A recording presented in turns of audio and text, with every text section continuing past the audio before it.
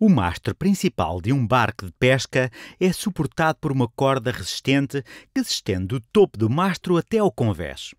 Se o mastro tiver 20 metros de comprimento e a corda for amarrada no convés a 15 metros da base do mastro, qual será o comprimento da corda?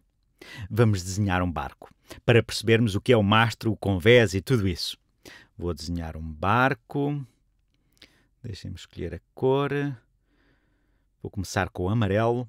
Suponhamos que isto é o barco, este é o convés. O barco é mais ou menos assim. É um barco de pesca. Aqui está o convés. Aqui embaixo temos água. Isto aqui é água. E o mastro é o que sustenta a vela. Vou desenhar um mastro. O mastro, vou desenhar o mastro. Isto é o mastro. O enunciado diz-nos que o mastro tem 20 metros de altura. Esta distância é 20 metros. Esta distância é o que sustenta a vela. Posso desenhar o pau para que fique mais claro. Até posso sombrear, se quiserem. Depois, o enunciado diz-nos que a corda é amarrada no convés a 15 metros da base do mastro.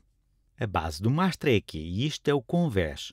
A corda está amarrada a 15 metros da base do mastro. Se a base do mastro é aqui, a corda estará amarrada a 15 metros de distância, mais ou menos aqui. Vou marcar isto, esta distância é 15 metros. E a corda é amarrada aqui, vem do topo do mastro até esta base. A corda é assim. A pergunta que nos é feita é: qual será o comprimento da corda? Temos de ter em conta alguns pormenores. Estamos perante um triângulo e não é um triângulo qualquer.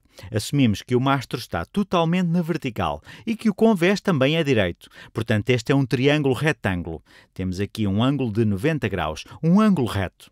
Sabemos que, se conhecermos dois lados de um triângulo retângulo, conseguimos determinar o terceiro lado, usando o Teorema de Pitágoras.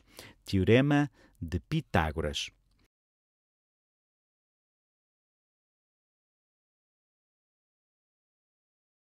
E o Teorema de Pitágoras diz-nos que a soma dos quadrados dos lados mais curtos do triângulo será igual ao quadrado do lado mais longo. O lado mais longo chama-se hipotenusa hipotenusa. Neste caso, aliás, em qualquer caso, a hipotenusa é o lado oposto do ângulo de 90 graus. Esse será sempre o lado mais comprido de um triângulo retângulo. Temos de determinar a hipotenusa. Sabemos os comprimentos dos lados mais curtos. Se elevarmos 15 ao quadrado, elevei 15, que é um dos lados mais curtos, ao quadrado, e lhe adicionarmos o outro lado mais curto, ao quadrado, 20 metros ao quadrado. Quando digo lados mais curtos, refiro-me em relação à hipotenusa. Esta será sempre o lado mais longo. Isto será igual a. Vou fazer a hipotenusa a verde para criarmos um código de cores. Isto será igual ao comprimento da corda ao quadrado. Chamemos esta distância distância C. C de corda. Vou fazê-lo um pouco melhor. C de corda. Isto é o comprimento da corda. 15 ao quadrado mais 20 ao quadrado será igual a c ao quadrado. E quanto é 15 ao quadrado? É 225. 20 ao quadrado é 400, 20 ao quadrado é 400, e isto será igual a c ao quadrado. 225 mais 400 é 625. 625 é igual a c ao quadrado. Depois, é só calcular a raiz quadrada de ambos os lados da equação. Por se tratar de distâncias, queremos apenas a solução positiva desta equação. Basta, portanto, calcular a raiz quadrada de ambos os lados da equação.